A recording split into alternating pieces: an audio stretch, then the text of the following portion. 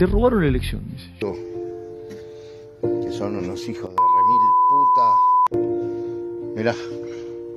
Todo, todo, todo de la libertad avanza. No lo digo por los turcos, ¿eh? Pero fíjate, cortadas al medio.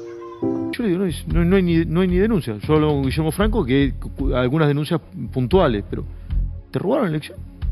O sea, salís a la cancha y ganás o perdés. Y, eso. y si no pudiste hacer todo lo que era necesario para defender los votos, y hay mucha, hay más de, de 5.000 denuncias hechas. Y hay muchísimos casos de urnas en las cuales tenemos cero votos.